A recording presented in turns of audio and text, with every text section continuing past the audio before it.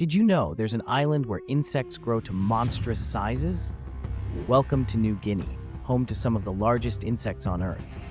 One of the most astonishing examples is the giant weta, a cricket-like creature that can weigh more than a small bird. In fact, a giant weta was recorded at a staggering 71 grams. But it's not just the weta that's fascinating. The island is teeming with oversized species, from enormous stick insects to giant moths with wingspans that rival small bats. These creatures defy imagination. The sheer size can be attributed to the island's unique environment, rich in resources without many predators. Interestingly, scientists believe that the isolation of New Guinea's ecosystem has allowed these insects to evolve larger sizes over time, a phenomenon known as island gigantism. Despite their intimidating appearances, many of these insects are harmless to humans. The giant weta, for instance, is a vegetarian.